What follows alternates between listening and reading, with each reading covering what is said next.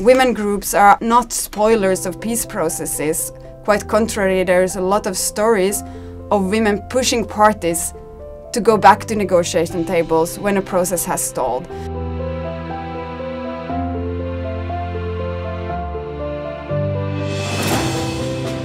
It was the first time that the Council really recognized the incredible important roles that women play in peace and security.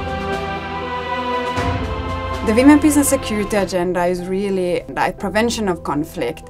It's an agenda which uh, visions is about equality and, and, and peace. It was spearheaded by women's movements, feminist movements, women leaders and peace builders. And they are really at the heart of this agenda. They are the ones that are making progress on it. They are the ones shaping it.